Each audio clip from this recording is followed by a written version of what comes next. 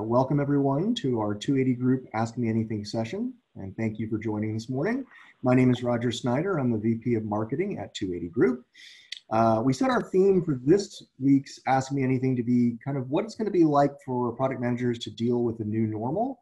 But uh, we received a lot of questions ahead of time that were more about, well, what do I do right now?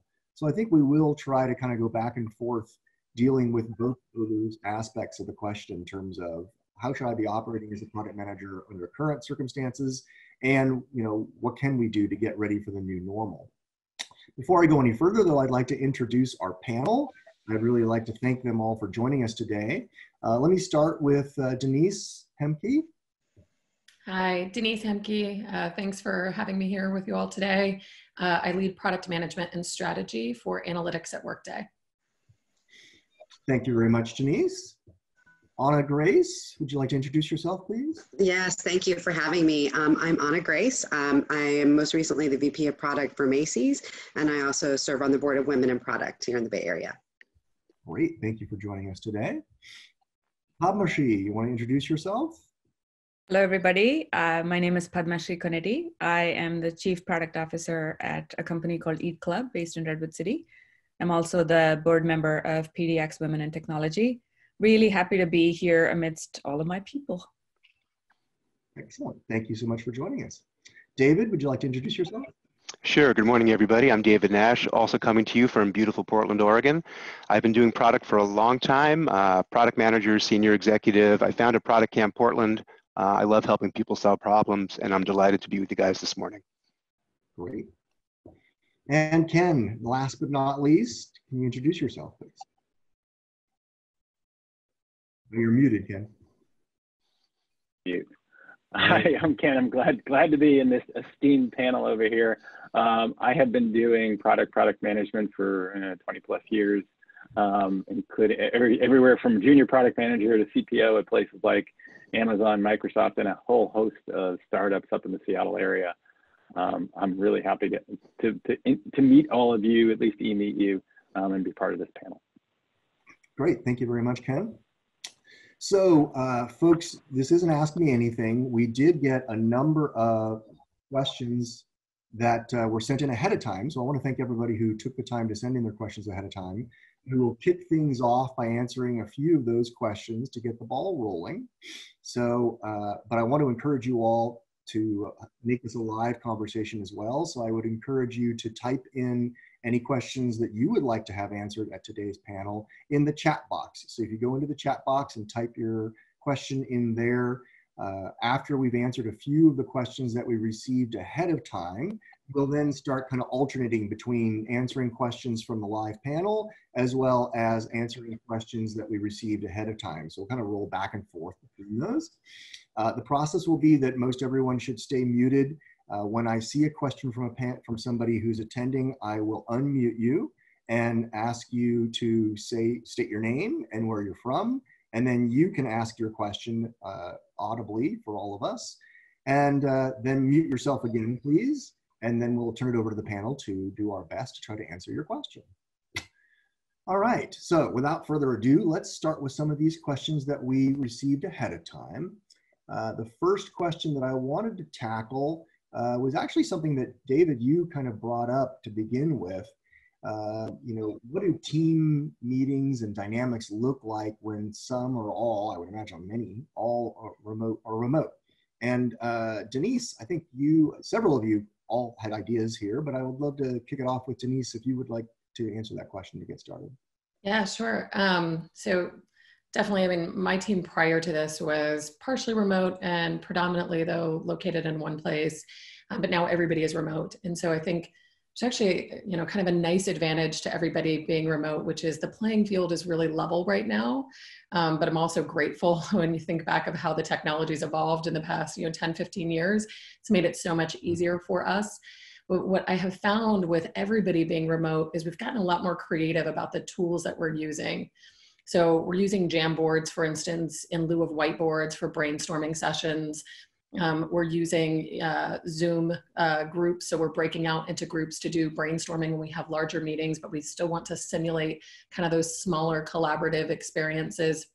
And then, you know, just like now with the virtual background that I have, Um, we've also been trying to make it fun, right? And bring in uh, virtual backgrounds and themes. And I know I see a lot of this happening. And even one of our recent PM all hands uh, for my team, we had a costume contest where people incorporated their virtual background to their costume. You know, so I dressed up even as Luigi, you know, had my Mario Brothers background, uh, and my daughter even brought it, you know, came in for a moment to dress up as a princess. So I think there's also lots of ways that we can leverage this technology um, to bring some fun back to work, even in these you know challenging times where we're socially distanced. Uh, and so I think that that's really been helping people. And I think also it will also um, you know have us think in the future about how we might do things a little differently. Some of these um, new technologies or new or new techniques that we're developing, I think will stick. Excellent, thank you. Yeah. And David, do you want to share some of our practices that we've been using as well? Yeah, yeah, I'd like to. But first, on Denise's point, I couldn't agree more. You know, there's been uh, a real uh, dynamic over the years, sometimes for teams that are home shored or offshored, or teams, you know, dealing with the headquarters versus remote office power dynamic, where there's a power inequity and a power imbalance. And to Denise's point, I couldn't agree more. Everybody's home shored now, right? So there's no us and them. and it's been very, it's been very powerful. It's been, it's been liberating if you've ever had to deal with those dynamics in the past. And, you know, through Zoom, I, am living on Zoom now, like many of you, you know, 10 hours a day. And you have to be all in because if you're not paying attention, you can get away with stuff when you're on the phone or, or, or in a different room that is, it's, it's not helpful to the meeting because people are paying continuous partial attention. I find the dynamic now is actually a lot more uh, productive. and I've gotten to know my colleagues like Roger and Kenny and others uh, that you know we talk with very frequently. We do the Zoom thing because who's not now, and every day we have a theme. And I've gotten to know my colleagues even better than were we doing our normal you know daily stand-ups before Zoom because I'm learning all kinds of things about them that are helping us uh, build a much more powerful team. So overwhelmingly, it's been very positive. Right. So for example, and, and, and building on that, yeah, building on that, David, I think I think it's going to lead to um, better remote meetings long term from this. People are used to using remote technology. You know, I remember you know times of conference calls and hello, are you there? Are you not there? And people forgetting those folks on the squawk box and all that kind of stuff. And I think one of the great things that will happen as a result of this is that people are so comfortable with this type of arrangement that long term, I think we're going to have better remote meetings as a result thereof. Yeah, I think so too. Yeah. So to give a, concrete example to our audience, this morning's theme for our office stand-up was, what was your favorite TV show when you were growing up? And so folks chose Zoom backgrounds that had images from their favorite TV shows. So that's a way, you know, back to the original question of like, how do you make these meetings not boring, not getting into a groove, but a little dynamic? And to Kenny's point, you learn more about the folks that uh, you are working with especially folks that maybe you've been working with for a long time, but you don't see very often because they're thousands of miles away from you. So good, good question. So Roger, it was nice talking to you from the from the bridge of the Starship Enterprise this morning. That's right. David was on the bridge of the Enterprise this morning. That's right. All right, so our next question actually came all the way from Kenya. This is really cool. It came from Joy Kinyua, and I apologize, Joy, if I've mispronounced your name. Um, but the question was how to manage multiple products with remote teams and what tools can be used to track that progress. And I like this last part of it too. How do you ensure momentum with current set timelines? I'm going to combine that question too with a question that we got from Richard Miller from British Columbia in Canada. Uh, he's all, he asked much the same question in terms of what collaboration tools do you recommend, right? So uh, Ana Grace, I think you had some thoughts on this one. You want to share? Yeah, happy to share. So, um, so about a decade ago, uh, I was working as a product manager at Best Buy, and um, I was allowed the opportunity to work remotely uh, from Texas and move out of Minneapolis. Um, and I, I, got to do it for um, quite a long time. Um, it ended up being six years of remote, um, kind of in the early days of doing this. And I learned a lot about how to work remotely, what works and what, what doesn't work. Um, from a tools perspective, um, I think the tools have only gotten, you know, just better and better over the last decade for sure. Mm-hmm. Um, and I think most of the things that we need are available to us today, whether it be Slack or um, Jira or uh, Teams, Zoom. I mean, there's so many different platforms that you can use. Um, but obviously, agreeing on on the ones that you as a team are going to use are critically important, um, and figuring out like how does that work best across all the different um, platforms and such that you need to communicate. Um, I would also suggest, um, you know, using these tools obviously more often, um, but to, like everyone else has said, like including more humanity in that and bringing that forward as much as possible, whether it's through the use of the background or, um, you know, more patience as it, as, you know, maybe children run in the room and things like that happen that are very natural and normal given the times that we're in. Um, but so I think from a motivating standpoint, you know, you really don't have to change a lot from the standpoint of the tooling, but just bringing that like in a more holistic view for the team to come together and say, here are the protocols that we use together, the, that we agree upon. Here are the rules, you know, whether they're norms or rules of our organization that we're going to go by, like um, we're going to use backgrounds, we're not going to use backgrounds, we're, you know, and then also keeping in mind that old fashioned tools are great too. Not every meeting has to be a Zoom meeting. Um, and sometimes it's okay to just pick up the phone. There is Zoom fatigue and, um, and it's okay to not always have to be camera ready uh, at every moment. So giving a lot of patience, I think is one of the most motivating things um, is being patient with one another. That's a really good point. Yeah. And Denise, you had talked a little bit about accountability and how to, how to keep people, uh, you know, keep momentum with current timelines. Can maybe you talk a little bit about that? Yeah, so I think um, that piece definitely resonated with me around momentum um, because I think this is, and especially multi-project or multiple products, and especially as you get into larger size companies, oftentimes your success um, on a product or a project is not just contained within your team, right? You need other teams and the downstream dependencies um, to be fulfilled in order for you to be successful. And so at Workday, um, for example, we use uh, key results, objectives and key results. Um, so if you haven't read Measure What Matters, great book to read on how to adopt kind of these principles.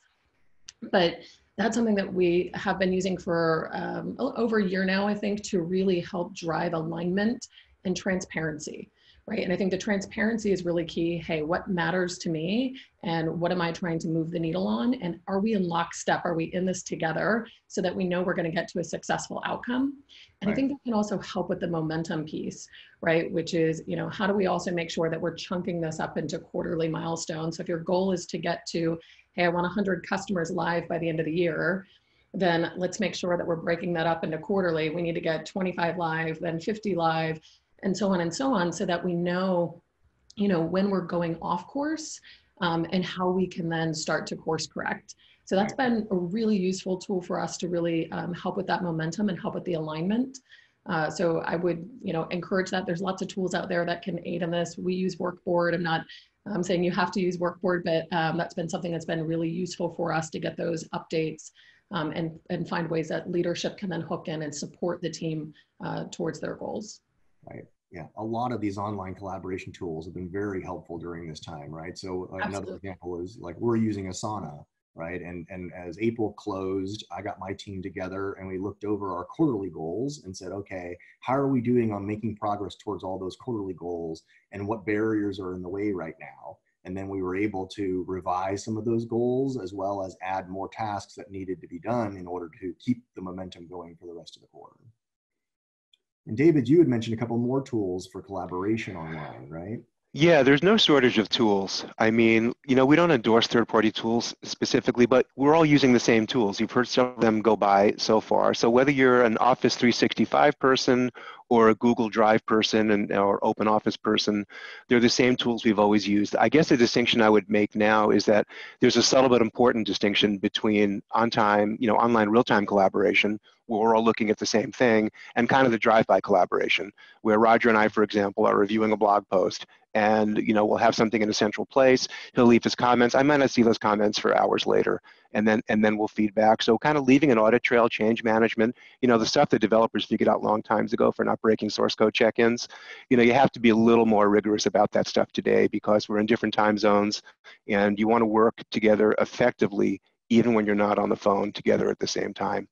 But uh, that that's become more critical i think at this point at this time definitely. So there are tools like you know creative canvases as well for brainstorms. One of the other questions that, that we may get to is the fact how do I get some collaboration going, right? And so Canvas tools like Mural or Miro, yeah. uh, those kind of tools will allow you, and, and Trello will allow you to also do more interaction, live interaction as well. So there's lots of tools. Like you said, we don't endorse any particular tool, but we've, we've heard from our clients and we use some of them ourselves so just want to throw some names out there if you are struggling to, to look for some tools to use. I would I would also just uh, you know recommend that you're flexible. So if you're an Office 365 person and you're dealing with Google Google Docs for the first time or Google Sheets, uh, they're kind of similar, but just enough to make you maybe a little hesitant or going the other way from Google or something else to Microsoft. Just you'll you'll learn the 20% that you need to do you know 80% of what you get. So look at it as a time to embrace new stuff and, and gain some new skills. And I think, you know, given the environment where everybody's disconnected, I think the usage of collaboration tools starts to go up, right? Is these are always available, and especially real-time collaboration tools. These are always available, always there, but people sat in their offices or at their desks, and you tended to do, as you, David said, you had this sort of remote collaboration going on, even though you were in the same office, same location. And now, interestingly enough, given that we're all remote, some of these real-time collaboration opportunities are taking taking force because we've broken down, you know, invisible walls of the office, um, seemingly to happen, where people know they're sitting on a Zoom, they see that you know you're, you're sitting together and you actually collaborate together in real time. It's, it's, it's been fascinating from that standpoint. Yeah, it's definitely been a lifesaver for allowing collaboration, and then the tracking tools allow everyone to see in real time what's going on. So we'll move on to the next question. I also want to pause and just encourage all of you who are here to, if you've got questions, please type them into the group chat and uh, we will be able to start taking your questions shortly. Uh, the next question that we have was from, and again, I'm probably going to uh, mispronounce his name, so I apologize up front, but Safai Tandogan from Istanbul asked, what should we focus on most during these lockdowns as product managers? And Padmashree, I think you had some thoughts you wanted to share on this one. Yeah, absolutely. Um, I don't know where all of your backgrounds are from and what sorts of jobs and companies and products you're all working on. So, with that caveat, I'll propose something that I think y'all should be thinking about. You know how there's that quadrant of urgent versus important? You know, certain, certain things are not urgent, not important, certain things are urgent, but not important um, to me at this point in time it is quite possible that you're not serving customers or maybe you're seeing a reduced demand for your for your software or your products that you've built. If the time is less busy and less reactive then one of the things i would suggest is it's the perfect time for you to step back and sort of look at the big picture. Are there as i mean product management is such a broad and vast field right? We all know that. We're expected to do the all the way up on the left side with visioning and strategy all the way up on the right with execution. So when there's such a big sprawl, it's possible that as product managers, you might be having certain gaps. And maybe this makes you uncomfortable, but there may be certain areas of the product management responsibilities that you might not have focused enough on. As an example, maybe you've always been meaning to sit down with your finance partner and understand the p&l of your business mm-hmm. maybe there are specific processes that are broken in the way you're shipping software that you know you need to make better, but you haven't had the time because you've always been serving customers and such. Um, is it possible that there's some really good re-architecture that can happen in the system and the architecture of your software that you could sit down with your engineering team and figure out so that when you are back into full service, you have a much more scalable system, perhaps technical debt, things like that. If there are those important but not urgent things in your business that you have not been focusing as product managers, I would highly encourage you to go pick those areas and go dig deeper into them because you have the time now to do it. And guess what? When you come back, it will actually make your business better and it will make you a better product manager. Great point. Absolutely. And Denise, you were rather emphatic in what you thought people needed to be focused on right now. Uh, Want to share a little bit? You mean roadmap, roadmap, roadmap? Um, yeah, I mean, I think it's, you know, inertia, you know, just the law of inertia continues to carry us forward on a trajectory that we're, that we're on, right? And I think that it's a good time to step back and evaluate your roadmap. Um, kind of to Padmashree's um, point, like it is a great time to evaluate, hey, what am I doing? What else could I be doing differently?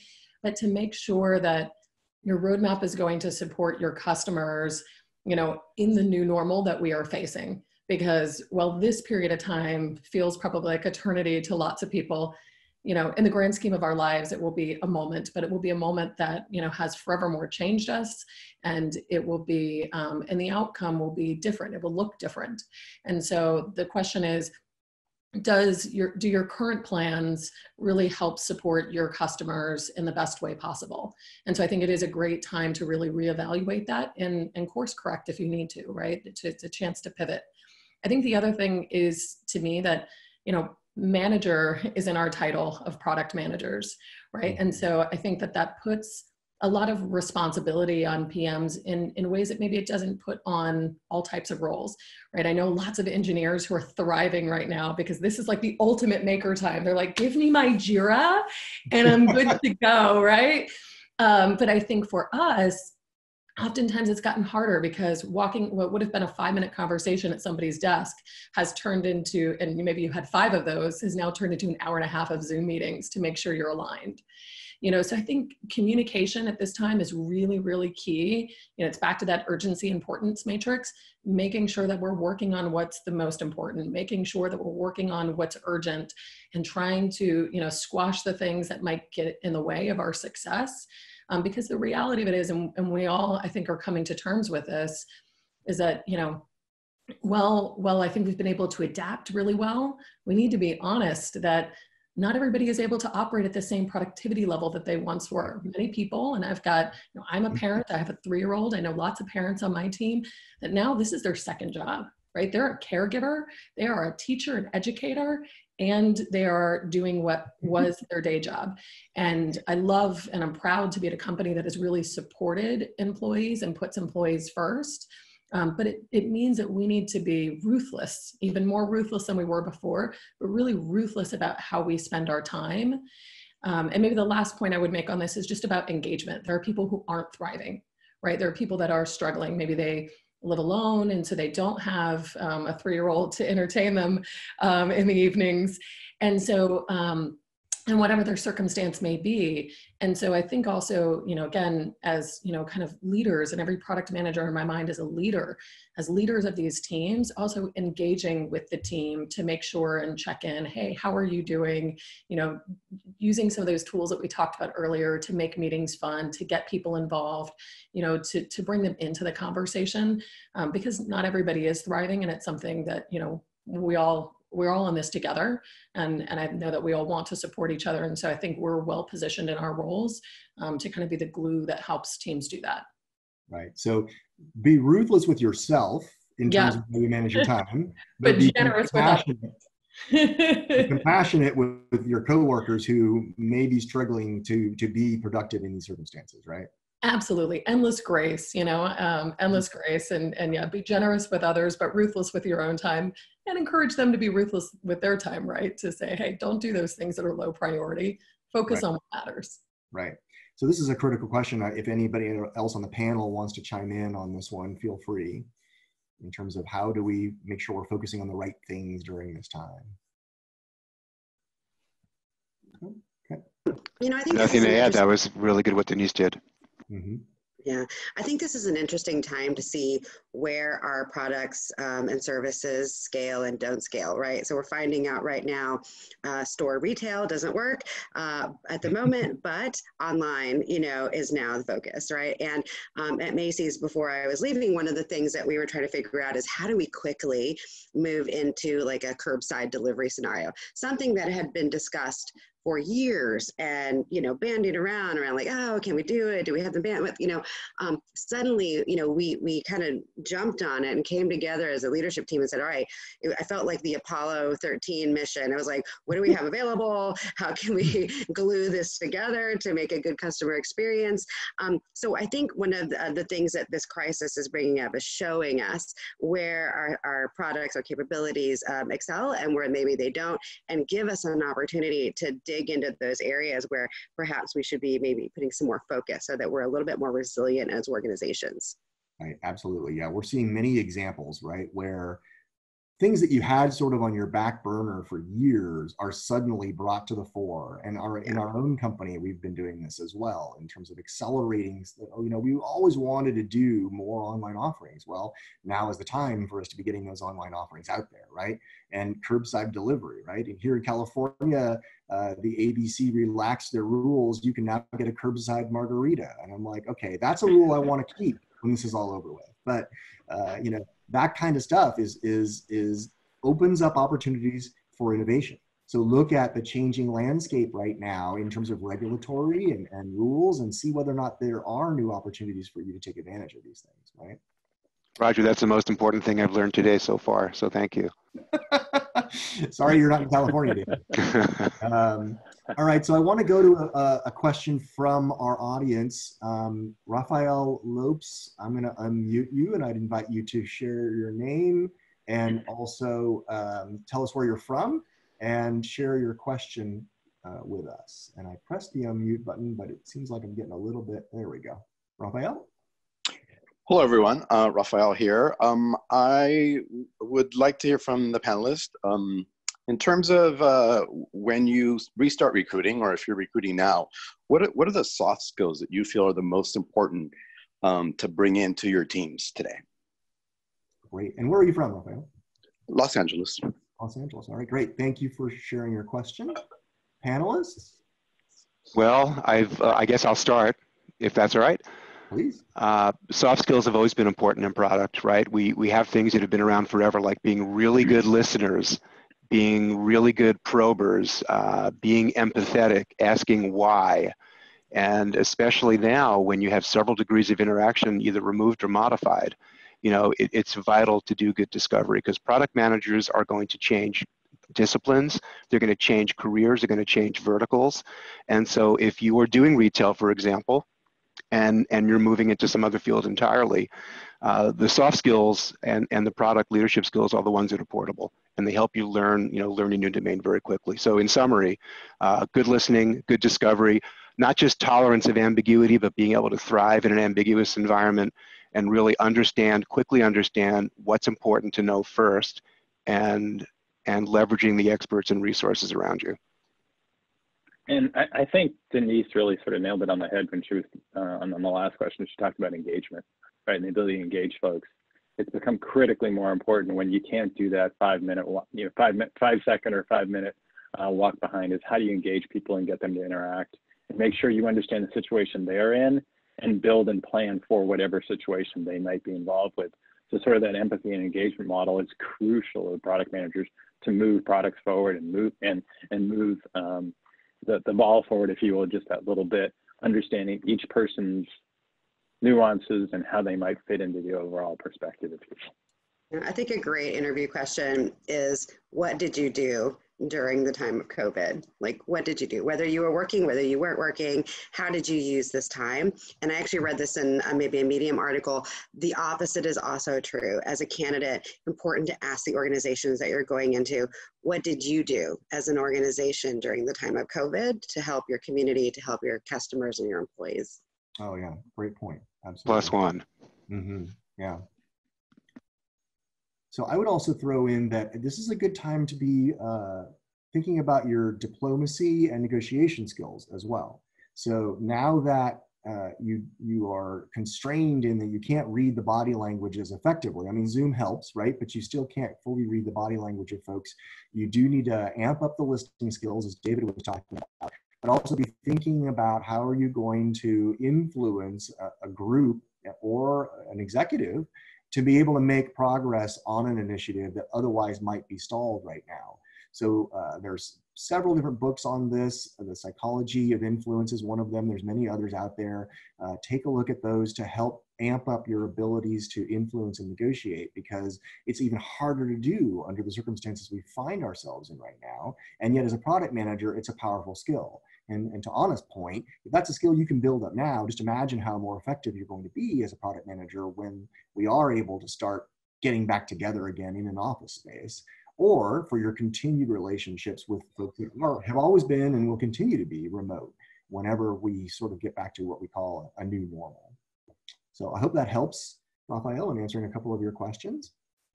Uh, I want to move on to the next question that we had from our uh, pre-submitted questions. And this one was a long one. I'm going to try to condense it a little bit.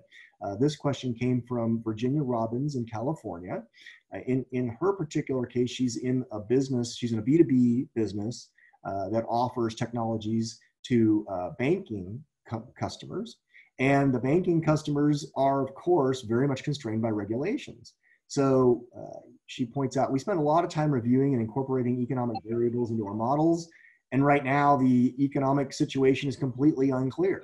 You know, what if a forecast of a near future that's uh, recessionary is not quite right, given all these these government uh, investments? So, how do we plan for these contingencies with so much uncertainty and limited budgets with lowered revenue as well, right? I think this is a question that's on many people's minds. So, uh, we, we did some softball questions earlier. This is a harder one, panelists. Let's help these folks out. Uh, what's that? Kenny, you want to help us out? Oh, okay. Yeah, happy to happy to tackle some of the more difficult ones. Um, it's interesting. This one, one of the things to realize is that probably from an economic perspective, we're in probably the highest um, state of uncertainty that we've been in in, in, in years and years. I mean, mm-hmm. this surpasses what happened in 2008 from an uncertainty perspective. We don't know what's going to be happening next week, next month, clearly not next year or three years from now. So incorporating those kinds of things into our plans becomes more and more difficult, as you mentioned. But in some ways, they're, they're, they're forces of that that are liberating. Um, and what happens is, is, I think there's the opportunity for all of us, regardless of the size of the organization we're in, to adopt uh, some of those lean startup mentalities and those kind of things. In some senses, that level of uncertainty has put us all in the state of really being a startup. We don't know what's going to happen next week. We don't know what's going to happen next month. So getting into that mode of experimentation, incrementalization, going out and adapting, failing fast, and adjusting as a result thereof now becomes an imperative for all of us.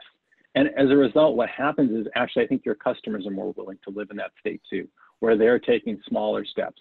They're taking more incremental steps to move forward as, as they go along, right? And building that into your models and, and being willing to live in that state of uncertainty, right? Where you're adjusting fast, right? Where you're, where you're testing all the time um, as you're going out there because you don't know what tomorrow's what tomorrow is going to bring.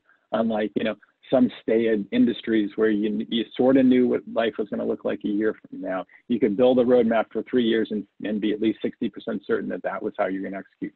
That's not the case anymore, right? Um, and so I think we all should adopt and embrace some of those lean startup mentality and thought processes that the startups have done all along and really have the ability now for all of us to act in, in that manner. Right? I, I think it's a great opportunity from that standpoint. And again, scenario analysis. What's it look like, right? What could happen if you know build the scenarios based on what's going to happen. The variability in those analyses is going to go broader and further as a result thereof, and be willing to live in that state. I think um, it'll. It, I think from a corporate America standpoint, um, I think there's a huge opportunity that comes with the uncertainty that we're going to face in the next six, nine, 12, 18 months, if you will. Right, right. Yeah, and if I could add to that, um, all yes to all the things Kenny said, and I think over here Richard Miller also says agile principles, 100% um, absolutely right. Be scrappy about the models you're building. The one piece I'd add on top of all of that is really engage your leadership. If you're lucky enough to have a leadership that's fairly transparent with you and is able to engage you in, you know, different ways that they're thinking and seeing the market, then engage them so that you become their partner you start serving them better you start giving them those models and scenarios to sit down and talk about. But be connected with them. That way you're you're in service of the larger purpose and where they want to take the company. Um, and then then if you know i like i said i truly there are many leadership teams out there who are not that transparent but you know if you're in this situation of uncertainty together knowing that you're there for them will be a really valuable you'll you'll be a really valuable asset to them that's a very good point. Yeah. And David, you had some thoughts to share, right? Yeah, yeah, I'm going to pile on with Kenny also. The, you know, there's there's I think a popular misconception that lean startup is is all startups, right? The build, test, learn loop. But many of us don't work for startups. Many of us work in established markets, which are being disrupted now more than ever. And I would say, you know, what lean startup uh, uh, posits for MVP or minimum viable product, we're all working on what we call MBI, the minimum business increment for the next thing we're doing. So the build, test, learn loop is as vital for an established company in product with mature uh, customers and product lines and IT organizations as it is for, for startups. So that's thing number one. Thing number two is we have always had to embrace uncertainty and ambiguity in product management because you're never going to have the amount of data that you need to make a fully confident decision, period. So get over that. Uh, and the idea is when you're doing forecasting now, this uh, what I'm going to say may seem blasphemous, but I found it to be true in my career.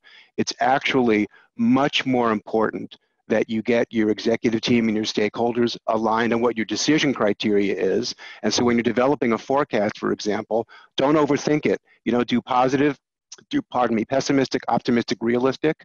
Yes. Understand the hinge factors for each because you're going to be wrong. Your forecast is going to be wrong. But the idea is you will have brought your team along with you. They will understand what the hinge factors are. Likewise for the risk analysis. Who could have predicted this black swan event we're living through now? So you're not going to be able to predict all the things that can kill you. Identify the top three, identify your plans to either preempt them if you can or mitigate them if you can't preempt them. And when that bad thing happens, you will have thought through and the team won't unwind and panic because you will have gained confidence in bringing everybody together on the decisions so they don't get unmade. Yeah, you know, I would add to that because I think, you know, you never know when the next crisis slash opportunity is around the corner. Um, one of the things that I remember from my Best Buy days is that um, I was there when we were still competing against Circuit City. And I remember that when Circuit City uh, went bankrupt, there was a, you know, a bit of an excitement in the organization. Like we beat our nemesis. This was, you know, um, the biggest thing that everyone you know was sort of waiting to do to be number one consumer electronics retailer in the country.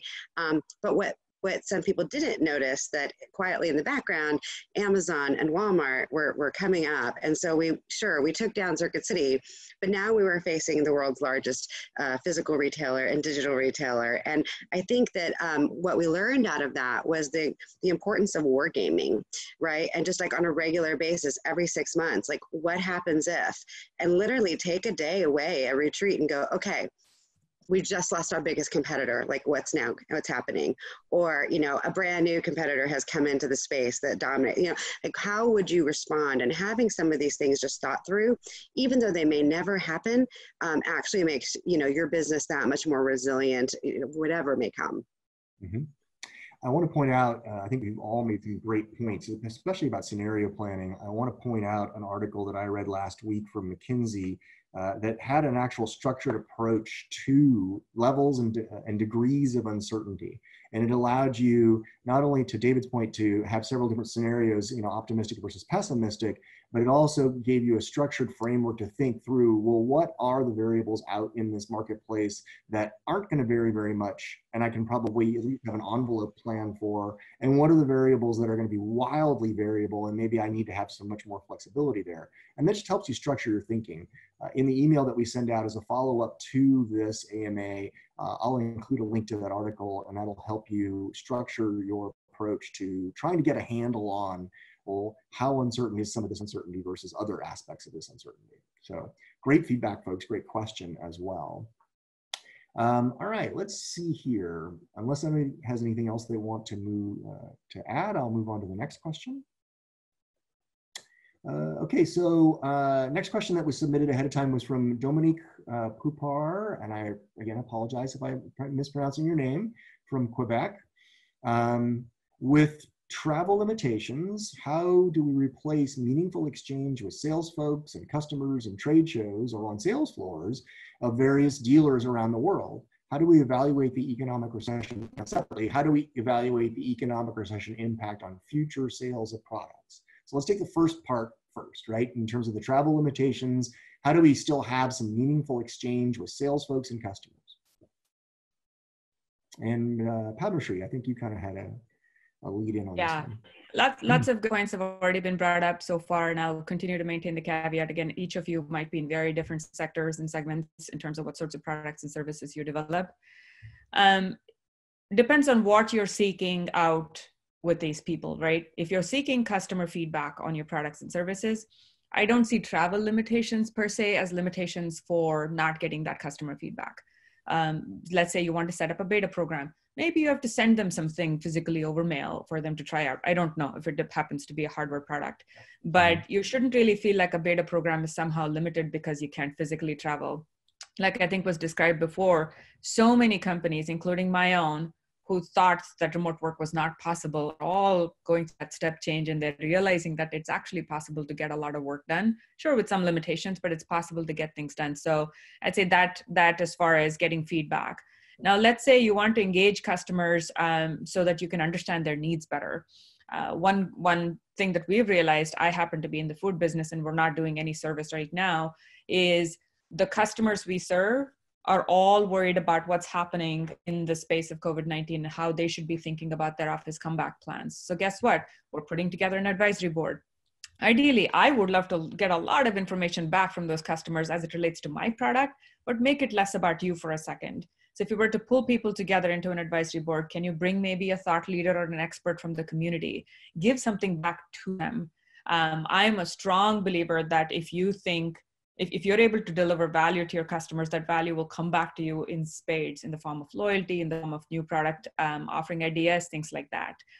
Um, and then as it relates to, do you want me to take the second part or just wait on wait on the second part on the, the first part first? Yeah. Yeah, yeah, yeah. So those are some things I would I would suggest. I think it's really reaching out and making sure that you have a way to deliver some value to them, understanding their needs, where they're at right now, how much they've been hit by the business, uh, by the, how much their business has been impacted by covid-19 and, and such and then trying to see what value you can deliver to them. It's still possible to do it remotely. Right. Others? I think to Padmashree's point, it's it's no harder now than it was before to, to to get people to pay attention if you have a value proposition, if you have something that's intriguing. I mean, this week I reached out to a potential partner, uh, and I had something that you know is enough of value to them where we got them to respond fairly quickly, and we're going to explore where that goes. So I think just because of this pandemic, uh, I think people have an unprecedented willingness and consideration for trying new things now because everything is up for grabs. And I, I, think you can have openings now that weren't open to you months ago because people were just heads down, you know, in their hole every day doing their thing. And, and people are are looking for signals and looking for new things now, and that creates, I think, much more opportunity than than it destroys. Yeah, that's a really good point. Um, we've definitely been engaging with clients as well and prospects to get feedback, and have found that you know we send a survey out with SurveyMonkey, and that we're getting good response rates. Right. Um, the more your more direct touch, you know, with the travel limitations aspect of this, I think your question was also a little bit about how do I encourage that direct touch? You know, encourage your sales folks to start using Zoom, start using phone calls, whatever that works well to pick up that phone, pick up that Zoom and, and have one-on-one conversations as well. Encourage, especially in B2B, encourage those one-on-one conversations to continue or to even to expand because now a salesperson who is worth their salt should be able to reach out to 10 customers in a day and be able to get a lot more contact in one day than if they were flying to Kansas City or flying down to Texas just to talk to one person in one day, right? So I think uh, we've got to ask them to be a little more innovative in their approaches as well. And if you model that by your usage of these various tools we've been talking about, hopeful, and then encourage them, hey, turn around and use those tools. Go have those conversations with channel partners, with customers, gather that feedback, send it back to me as a product manager so I can collect it and be able to start seeing the trends, seeing the, the real problems that our customers are having that we can help solve, right? I think that that would really help a lot. Yeah, yeah and, just and Roger, one last I think, thing. I, go Sorry, go ahead. Oh, no, I think one of the things to realize is that reduction in business travel is not a short-term impact, it's a long-term impact that will result from what we're seeing here. Corporations are going to realize that they don't need to do as much business travel as they have in the past. So some of the skills and techniques that you're learning today on leveraging Zoom and using Zoom to interact with customers and interact with partners and interact with salespeople, I think becomes a skill you can leverage long term. And to your point, Roger, it will it will create new opportunities to leverage yourself, right? Because now it's not a one day trip to Kansas City and then another day trip to Dallas and then another day trip to Oklahoma City, right? You can cover all those in one day, right? So now you can have three of those discussions without having to get on an airplane and and and work your way through the airport and find the rental car and all that kind of stuff. So I think in some ways that's freeing um, and the fact that on the other side, people are more interactive on tools like Zoom and, and seeing face-to-face kind of thing. So I think you're, you're going to replace some of those, um, you know, uh, convention center discussions that you may have had at a conference before with some of these other tools. And in some ways, have the opportunity to do more remotely than you actually could do face-to-face. Yeah, and the one last point I wanted to make on that is it's possible that your vendors, customers are not thinking of you right now. So don't get discouraged if they don't get back to you. Um, if you do actually believe that your product direction has value for them in this new and changing world, then stay persistent and keep pushing. Find different ways, different segues, different openings uh, in order to find a way to reach them. But yeah, there's a good chunk of customers who are not thinking about my product or service right now. That's the thing on their minds, and that's okay.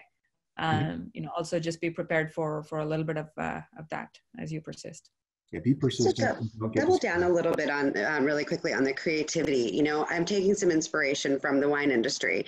Um, maybe some of you have seen that there's now new virtual tastings happening mm-hmm. online where you can sort of go to the tasting room, that you order a batch of wines and you sit with the winemaker and you taste them together. I mean, how fun is that, right? A completely new thing that was invented because of this crisis.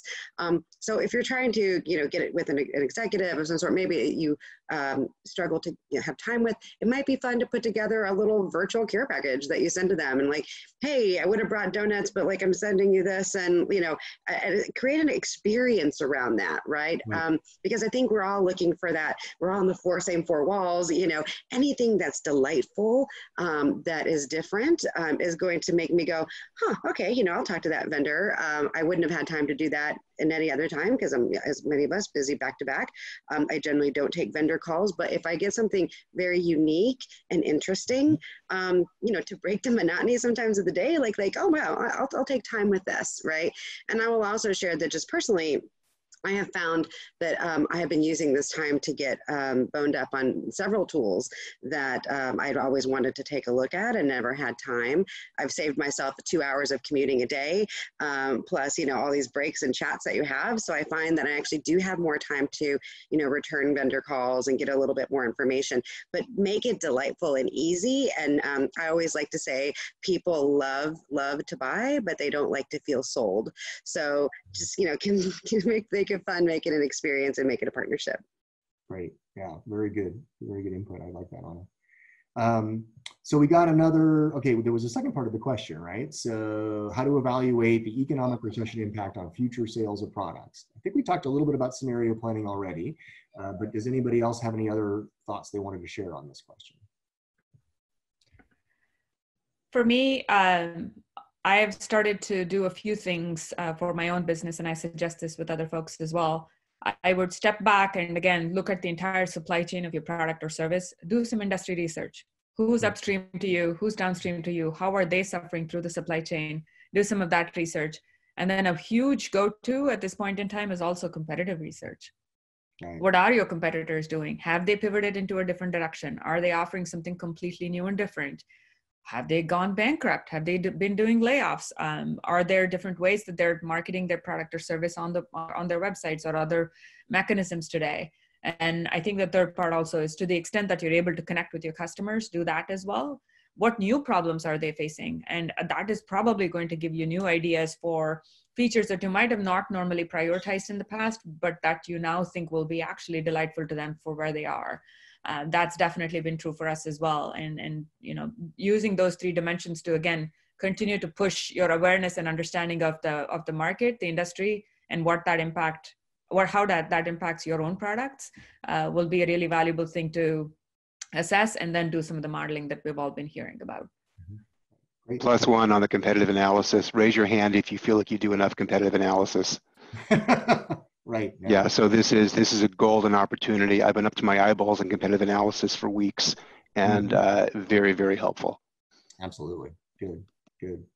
All right. So let's get the next question from the audience. Um, I'm going to press the unmute button since it seems to take a while. Uh, Danny Clark, you want to share your question as an agile coach?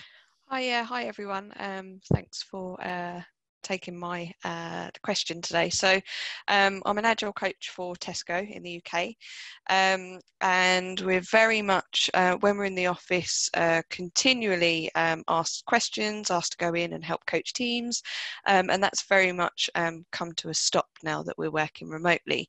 Um, so we've sent out lots of communications just to sort of say, you know, hi, we're still here, we can still help coach, even though it might be slightly different, but because there's such a um, focus on delivering right now because we are retail, um, sort of serving Britain shoppers. Um, so it's kind of a case of my question, I guess, is how could we engage more with teams um, to look at their ways of working um, and help teams moving forward as an agile coach?